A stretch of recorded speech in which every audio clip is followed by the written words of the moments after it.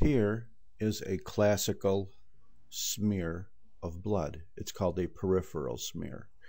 In a peripheral smear, the stain that is used is not H&E.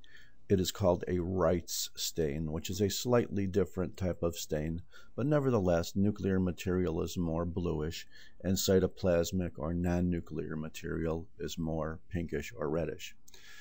There are several different types of cells classically uh, on a blood smear.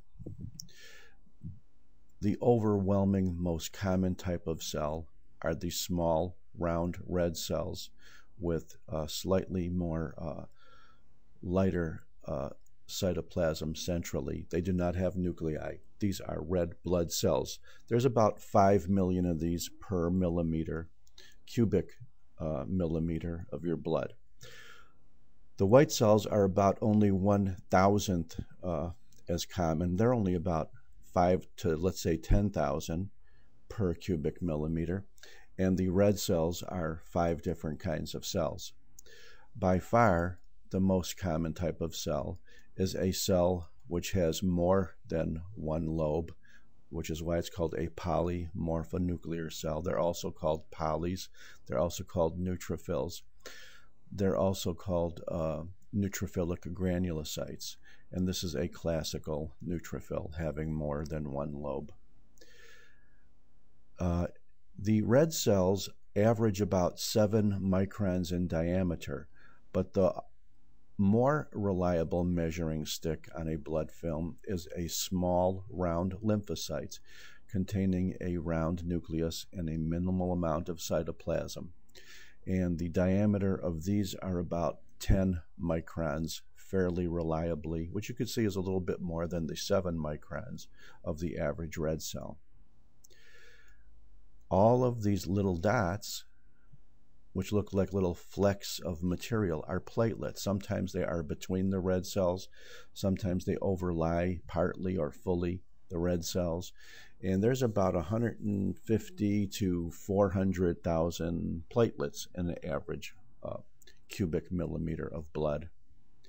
At the tip of the arrow is a cell in which the granules are so dark they obscure the uh, nucleus occasionally, and these are called basophils. And basophils are the least common type of uh, white blood cell, and they contain these dark basophilic granules, which contain histamine, heparin, and serotonin. Uh, you can see here's another neutrophil. I'm sorry, here's another neutrophil, here's another lymphocyte. All the rest of these are red cells. All these little pink dots are platelets.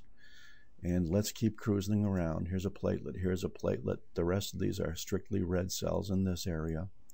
Here is perhaps a large platelet or a fragment of a cell, and the rule is never identify a cell if it is either smashed or smushed or uh, only has a nucleus. Otherwise, there's a good chance you'll be wrong. There's always a good number of cells on a smear that are smashed or smushed for whatever reason, and you don't want to even try to guess what they are. Otherwise, once again, all you see are, are red cells and uh, platelets. And uh, let's go back, find a few more cells, and then we'll call it a day. Here is a granulocyte or a neutrophil.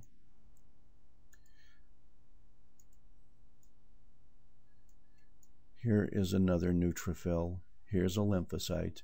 And here's an interesting cell that has a somewhat of a convoluted nucleus, but it's not polylobed, and it has granules.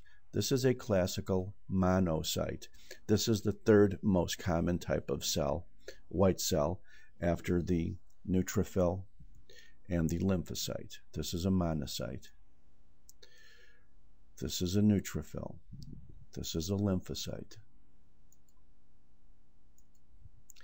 And let's see, what else can we say? Perhaps we can find an eosinophil somewhere. I think somebody labeled one of those with an arrow. I think it might be this one. Eosinophils and basophils are generally not that common. Basophils are usually less than 1%, and eosinophils are usually just a couple percent. So to find uh, these two cells, sometimes you have to look a little bit. We have the benefit of an arrow here.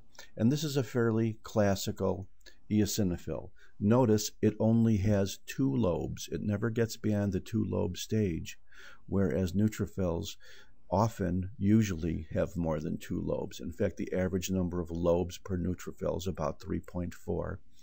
But the number of lobes in a neutrophil, an eosinophil, is only two. And you notice how the granules are a little bit redder and much larger. And that's how you uh, identify eosinophils. So I think we covered it all. We covered the red cells, we covered the platelets, we covered the neutrophils, we covered the eosinophils, we covered uh, the lymphocytes.